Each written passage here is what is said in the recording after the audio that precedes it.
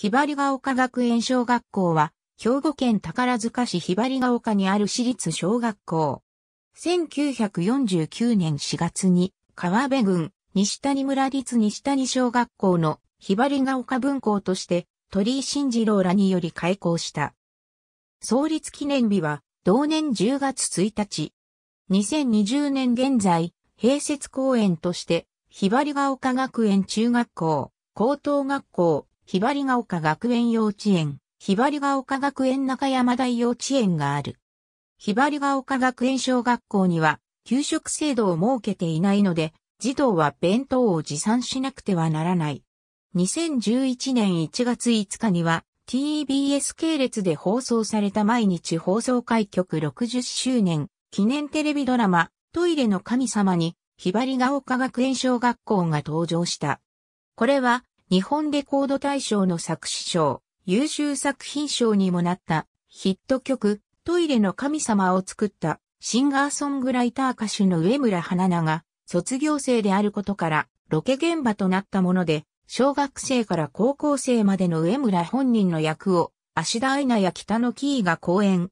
また、歌の冒頭が、小3から始まることから、ひばりが丘学園小学校は、学園小学校の時の思い出が、歌の始まりということになりますと歓迎している。ひばりが丘学園小学校をはじめ、ひばりが丘学園は創立の精神、行動を根本としている。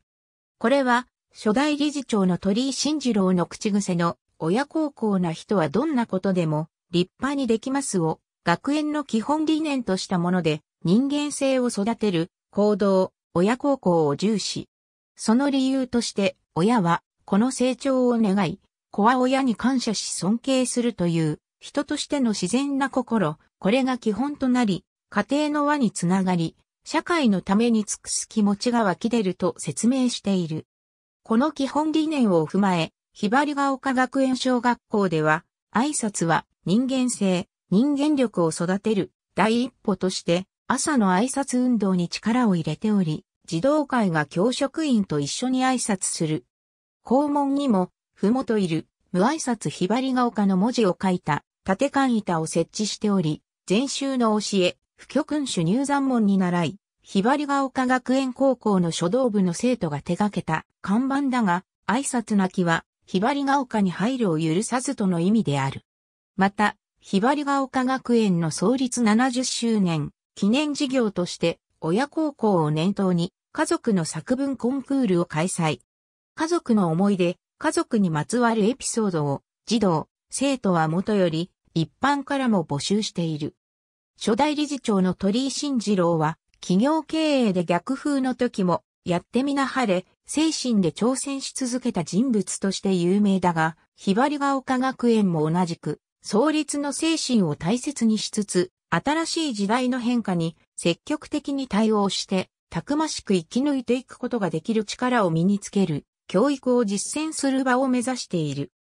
新次郎の孫で、現在のひばりが丘学園理事長の鳥居慎吾によると、親孝行、行動を根本とする教育により、素直な心を持ち、いつも感謝の念を捧げ、健康な体力とたくましい実践力を持つ強い人間を作ることにつながるといい、結果、人間教育の充実、学力向上を両立させた関西を代表する一流の学園として幼稚園から高校まで学園一貫のグローバル教育、ICT 教育を推進するとしている。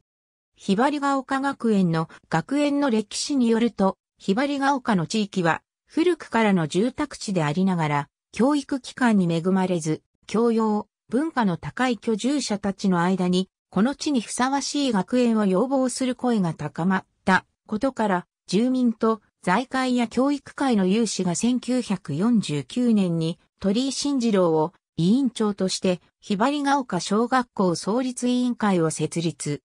同年4月に小学校を開校し、翌1950年8月に学校法人ひばりが丘学園認可を得て幼稚園を併設した。豊かな人間づくりを基調とし、個性を伸ばす教育を行うとともに、どんな苦労をも乗り越えて、たくましく前進し、真に社会に役立つ人材を育成する。個性を認め、生かし、正しい判断力と高い学力を身につけた子供を育てる。